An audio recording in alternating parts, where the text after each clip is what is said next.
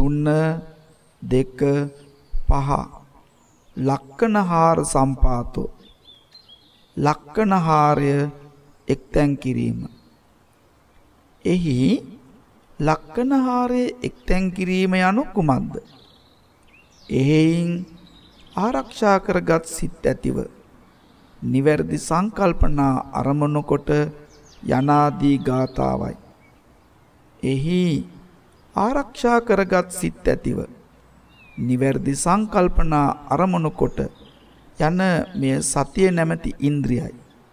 සති ඉන්ද්‍රියගත් කල්හි ශ්‍රද්ධා ආදී අනෙක් ඉන්ද්‍රියනොත් ගන්නා ලද්දේ වෙයි.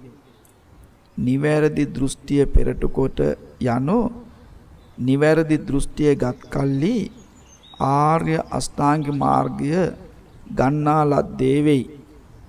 එයට හේතු කුමක්ද? නිවැරදි දෘෂ්ටියෙන් නිවැරදි සංකල්පනා උපදී.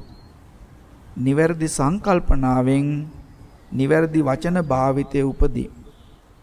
නිවැරදි වචන භාවිතයෙන් නිවැරදි කායික ක්‍රියා උපදී. නිවැරදි කායික ක්‍රියාවෙන් නිවැරදි දිවි පෙවෙත උපදී. නිවැරදි දිවි පෙවෙතෙන් නිවැරදි වීරිය උපදී. නිවැරදි වීරියෙන් නිවැරදි සිහිය උපදී.